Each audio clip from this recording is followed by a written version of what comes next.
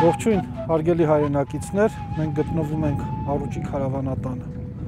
Արուճի քարավանատունը կառուցվել է 13-րդ դարի վերջում, 14-րդ դարաշրջին եւ կառուցված է Հայաստանի ամենամեծ, ամենախոշոր երկու քաղաքների՝ Անի եւ Դվինի գրեթե աշխարհագրական մեջտեղում։ Եկեք միասին մտնենք քարավանատուն եւ ճամփորդենք միջնադարում։ Տեսնենք ինչպիսին էր հայոց առևտրական կյանքը։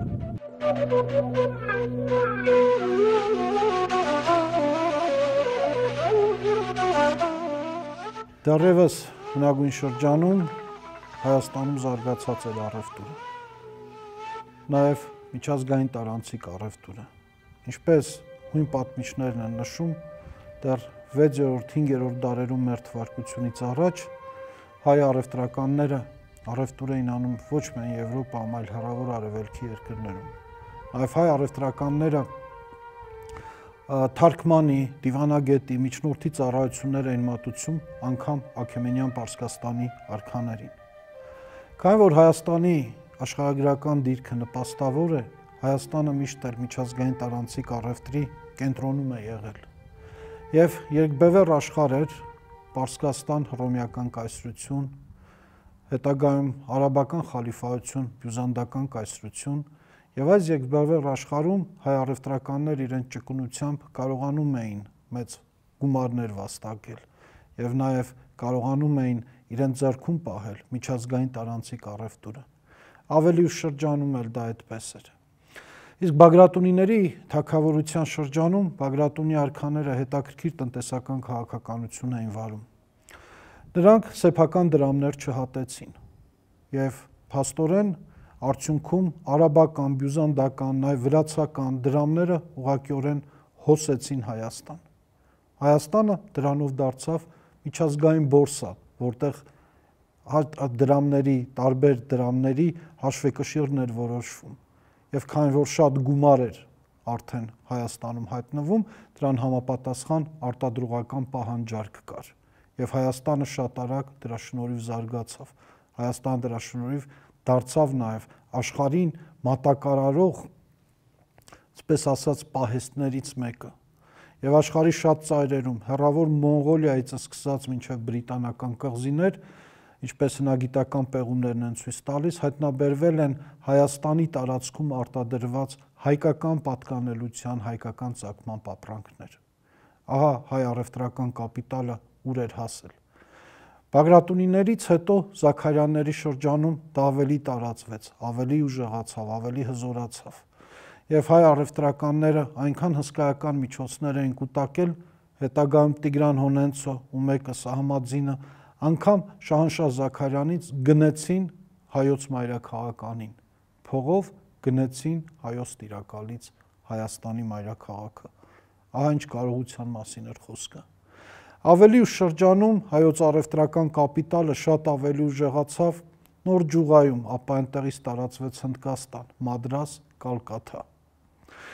Մանավանդ հնդկահայերը հսկայական միջոցների էին տիրապետում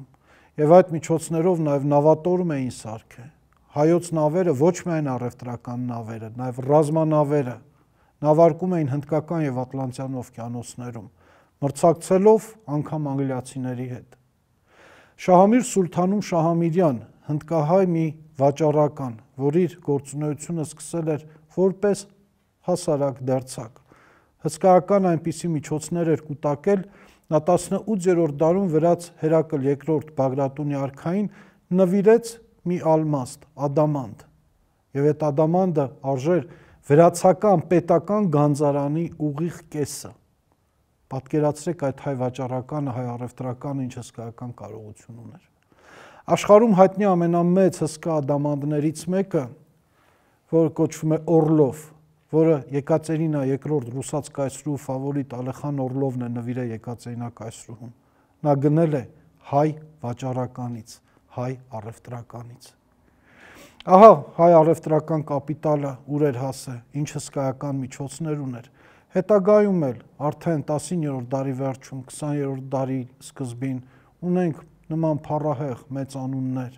Ալեքսանդր Մանթաշյանց, Միքայել Արամյանց, Մելիք Ազարյաններ, Գալուստ Գյուլբենկյան, դրանց քիչ առաջ Նուբար Փաշան, այսինքն հայի միտքը պրպտող է, հայը կարողանում է աշխատել, հայը կարողանում է վաստակել։